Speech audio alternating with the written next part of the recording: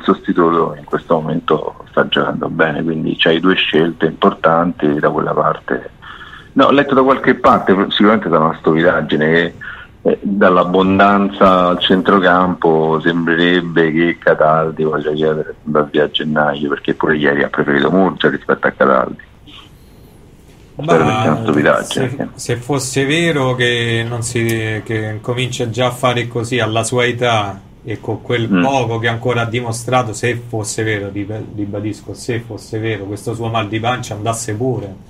Se non si trova bene alla Lazio, se devi creare problemi Ma non credo, alla fine comunque aveva giocato col Cagliari per 90 minuti, anche a Torino aveva giocato. Però ci stava magari forse come pure come scelta di turnover, diciamo, secondo me, quindi non credo debba poi prendersela più di tanto. Sì, però mh, mm, mi trovo d'accordo con Gianfranco, e però Cataldi non è nuovo a questi episodi, noi gli vogliamo tutti bene sì. perché è giovane, è tifoso della Lazio ed è un talento in quel ruolo magari sarà un domani uno dei migliori in Italia. Però mi ricordi la storia con Biglia all'inizio dell'altro campionato? Insomma pure lui. Cioè, secondo me c'ha ragione Gianfranco.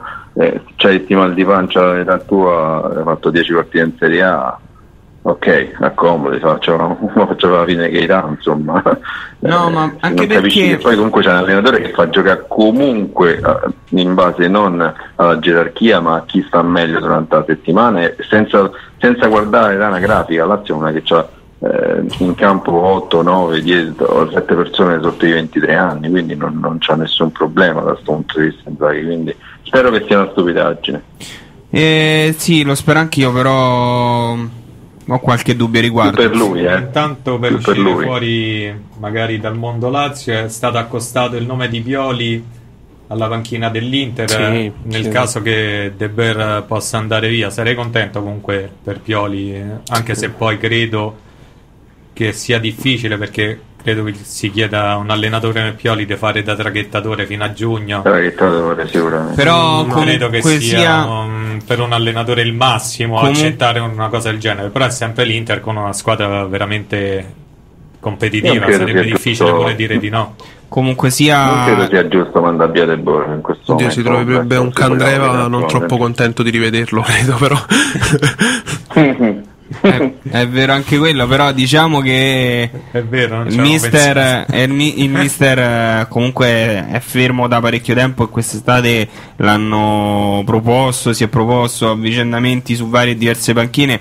Io immagino che comunque lui abbia voglia di, di, di fare calcio, quindi molto probabilmente accetta accetterebbe anche l'idea di fare tra, da traghettatore in questi mesi all'Inter, anche perché comunque sarebbe una bella vetrina per lui. Qualora si uh, confermasse anche sulla panchina dell'Inter, uh, penso sia molto difficile poi per lui eh, riabbassarsi di livello e quindi rimarrebbe comunque uno dei club più prestigiosi d'Italia. Però per il gioco di Pioli, secondo te può sì. subentrare? Cioè, sì. nel senso, da una settimana all'altra lui riuscirebbe già a dare un'impronta. Secondo me sì, per oh, i giocatori all'Inter. che ha l'Inter, soprattutto per gli esterni d'attacco, secondo me sì. Però, ripeto, pure sì, questa ipotesi di traghettatore per uno come lui non lo so, non è proprio entusiasmante. Caratterialmente non credo che sia un allenatore portato per una piazza così importante, però... E soprattutto dal... così incasinata, penso io, perché veramente credo che la panchina dell'Inter sia bollentissima. Ma al di là eh sì, di questo... Perché quello che hanno fatto con Mancini è stato inspiegabile, perché se avessi, se avevano sì, intenzione sì. di cacciarlo lo dovevano cacciare prima. prima.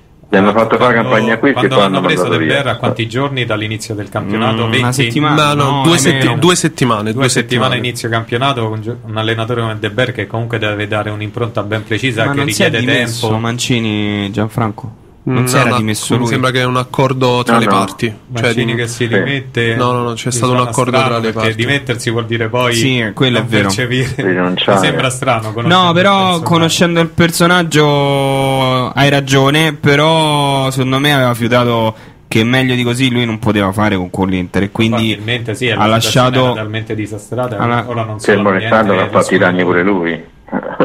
Sì, ma non ha fatto niente ma infatti quella per me la principale causa di, questa, di questi due anni di Inter è, è, proprio Roberto Mancini che ha stravolto quando non serviva totalmente eh, la squadra sia nel mercato di gennaio sia poi l'anno, l'anno, successivo. Quando girava bene la squadra l'altro anno nella prima parte di campionato si, era, si prendeva tutti i meriti e gli elogi, poi quando c'era da metterci mano e dare qualcosa in più io ho visto che comunque addossava colpe ad altri. Sì, ma anche una squadra costruita male negli anni, secondo me. Ma è proprio l'Inter che è così. L'Inter, ora ragazzi, sì, poi beh, chiudiamo soldi, il discorso. soldi ne hanno investiti molti, eh. Chiudiamo il discorso Inter. Se non esce fuori Calciopoli, l'Inter continua a buttare soldi e non vincere nulla, non vincere neanche i campionati e non vince neanche la, la, il, triplete. il, triplete. perché comunque proprio come concezione non ha una struttura, secondo me, eh, vincente. Non, credo neanche. credo proprio che sia un discorso di, di DNA. Cioè, l'Inter, se non ci fosse Calciopoli, sono 30 anni che non. Che non sì, 30 anni che non vince in Italia. E parla poi la storia de, dell'Inter, che comunque è un club prestigioso perché ha dimostrato tanto. Ma sinceramente, da, da quello che vedo io in questi ultimi 30 anni, l'Inter dimostra di essere una, una, società modesta. Comunque, a parte l'Inter, sì. volevo dare un, rapido aggiornamento sulle ultime due partite che mancavano per l'undicesima giornata di Serie A.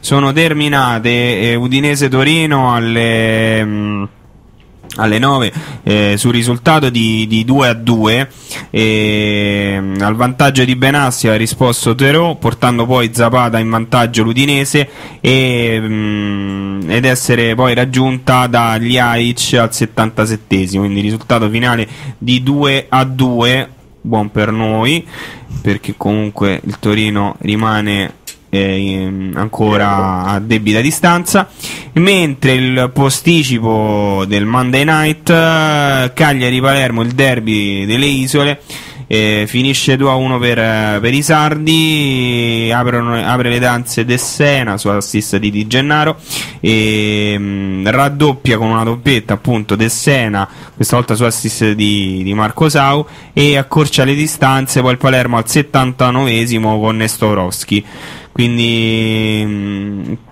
bella no, sei no, bella sto Macedone mi sembra se, se non erro sì. già il quinto gol mi sembra sì, il campionato. Beh ha fatto anche bene contro, contro, la nazionale italiana. Sì, un sì, buon centrale mi sa che ha segnato solo lui al Palermo credo. Sì probabile. Sì. Beh un bello scambio alla pari Giorgevic uh... Ne sto, ne, eh, ne certo, hanno l'anello al naso e la sveglia al collo. Niente, vabbè, non riusciamo. proprio. No, magari. Però. È pronto nonno, eh? È pronto nonno, lei Palermo. Ragazzi, via appunto per Giorgevic, via Giorgevic per fare cassa la Lazio punta forte su Sebastian Haller. Secondo un quotidiano romano, i biancocelesti sarebbero disposti a mettere sul piatto 8 milioni di euro per convincere l'Utrecht, attaccante quindi dell'Utrecht, che ne chiede però 10 per liberare l'attaccante di classe 94. Questi sono proprio i colpi Beh, alla Iglitare.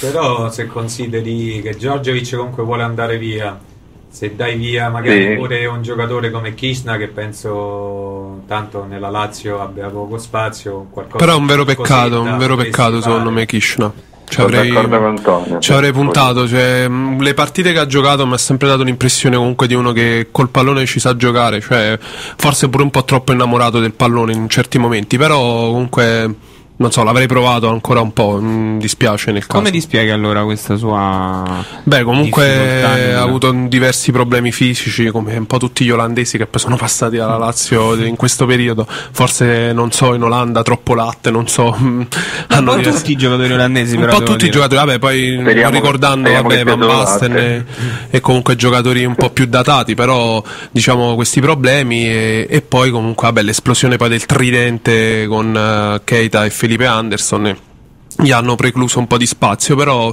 prima di darlo via riproverei a... lo rispolvererei, rispolvererei per vedere un po' come va. E comunque l'altro anno Pioli, anche quando c'era il peggior Felipe Anderson, lo preferiva a, che, a Kishna, quindi non, non, ci ha puntato proprio l'altro anno la Lazio. Io deve essere qualcosa. darlo via così. Ci deve essere qualcosa, in effetti, sì. Quest'anno pure, quando è stato chiamato in campo, purtroppo è stato uno dei pochi a fallire. Beh, Bergamo la, all'esordio però era stato tra i migliori, sinceramente. Non mi era affatto dispiaciuto ma nel tridente con Immobile e Lombardi. Poi da lì bah, sarà eh, con gli esordi va bene, poi non riesce a dare continuità perché pure l'anno scorso segnò col Bologna la sua eh, prima sì, grande, con la Lazio. Grande partita quella col Bologna, la ricordo. Quindi boh, forse sarà i numeri ce l'ha. Sì, sì, potenzialmente sì, è uno di quei giocatori che sì. potenzialmente ne, come ne sono passati tanti. Forse non avendo Magni, ce ne sono tanti, Ederson, eh. ce ne sono, voglia forse non avendo le coppe europee purtroppo non si può ecco, poi giostrare più di tanto, quindi magari ecco, Simone Inzaghi preferisce più puntare sui tre su cui fa più affidamento rispetto che comunque su lui, ma lo stesso Luis Alberto che poi magari è stato tanto eh, decantato inizialmente quando è arrivato alla Lazio, però poi ha fatto qualche spezzone e sinceramente lui non mi ha impressionato più di tanto, però forse prima di giudicare, di dare un giudizio netto e definitivo andrebbe visto in una partita titolare. Sì, poi ogni giocatore ha i suoi tempi diciamo di rodaggio tra virgolette perché pure Patrick l'anno scorso non è che ah, abbia sì, fatto sì, questo sì. gran sicuramente poi i giocatori spagnoli volontà, hanno bisogno di tempo. quest'anno sta facendo bene ogni giocatore poi magari ha i suoi tempi. Nel frattempo c'è la notizia che c'è, che c'è, un giocatore vediamo se, se Marco e Alberto riescono a indovinare chi è che ha firmato un contratto con la propria squadra in cui guadagnerà 47.000 euro al giorno. E la clausola rescissoria no, non è stata ufficializzata, ma voci di corridoio dicono che sia di un miliardo di euro. Io lo so chi è. Vai. È Gareth Bale. Esattamente. esatto. Guadagnerà 17 milioni netti all'anno, 47, equivalenti a 47 mila euro al giorno. 47 mila euro al giorno? giorno. Sono 24 ore, quasi 2000 euro l'ora. Cioè, quasi 2000 euro l'ora, mezz'ora, 1000 euro in 10 minuti. Cioè, questa è... Però posso dire. Almeno, almeno tre fidanzate con tre carte di credito di mm. Per carità di Dio, è un'esagerazione, posso essere anche d'accordo con voi però secondo me è uno di quei calciatori che mh, mm, sposta molto gli equilibri, cioè il Real Madrid non vinceva una Coppa dei Campioni da 12 anni, sì. ha speso 100 milioni, si era gridato un po' lo 13, scambio. 13, 2001-2014 sì, se non erro, no dico 13 anni che non vinceva sì, Real. Sì dico eh, si era criticato tanto questo investimento di 100 milioni ma io penso che poi l'ha, l'ha ripagato appieno il Gareth Bale con il Real Madrid perché da quando è arrivato lui hanno vinto due coppe di campioni comunque sia eh, sicuramente la notizia va letta perché comunque è un'enormità Vabbè. però sul valore su, e chiaramente quando ci sono di mezzo questi grandi club le cifre poi per quanto ha rinnovato? quanto tempo? 2020 21 Adesso te lo, te lo, riprendo. Stai a aspettare che finisce, che va a scadenza. Eh, perché così... a scadenza o perché c'è un miliardo spiccio e vai subito a pagare la clausola? Gli portavo la leggetta con Giorgio, c'è scusa dentro, non ce lo metti... Comunque te, ce lo metti sempre Giorgiovic a prescindere poi. Eh, non ho nessuno, quello problema. allora, vediamo un po' se c'è scritto fino a quando, quando dovrebbe essere 2021-2022 dovrebbe essere viene chiamato l'uomo da un miliardo di euro da oggi in poi Mamma mia. cifra di calcio uh, mister 100 milioni un miliardo Beh, in effetti sì, no, non è specificato, no, eccolo qua fino a 2022. Ha, ha rinnovato per 6 anni, fino al 2022.